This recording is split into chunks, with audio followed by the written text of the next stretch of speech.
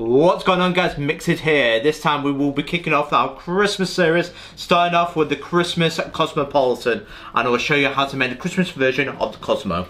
So what you want to do guys is get your ice and put in 45 ice cubes. So to make a Christmas Cosmo guys, because as you can see, you want my hat, is 60ml or 2 ounces of cranberry juice. That is the signature for a Cosmo.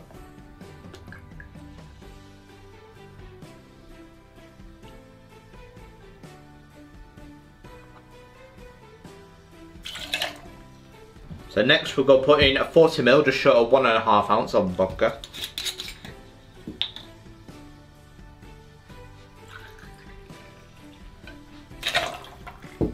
Beautiful. Next, 15ml or half an ounce of fresh lime juice. I say freshly squeeze just to mention it as well. I say it tastes a lot better when you freshly squeeze it. And last but not least, just a drop of Angostura orange bitters, because say so about 5 mil or just a drop. There we go. Perfect. So now show 8 to 10 seconds get nice and chilled.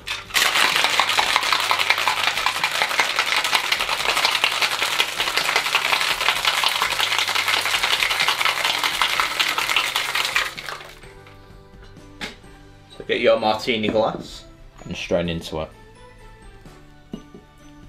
Beautiful.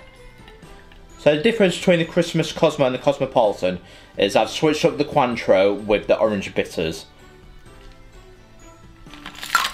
Perfect. So if you like the Cosmo, you'll like this version of it, the Christmas version of it. So and the final thing for the Christmas Cosmo is garnish up with a lime slice. There you go, simple. That, guys, is a Christmas Cosmopolitan. To start off our Christmas series, how does it taste?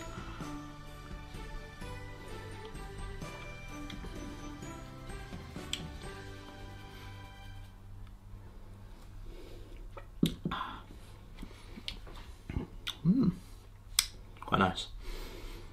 I think I prefer the original Cosmopolitan uh, version to the Christmas version of it. Was that to me the thing that makes the Cosmo is the Cointreau thing that sets it apart. Because I forget, forget to balance it out, but it'd just be too much of a Cosmo if I put in the Cointreau.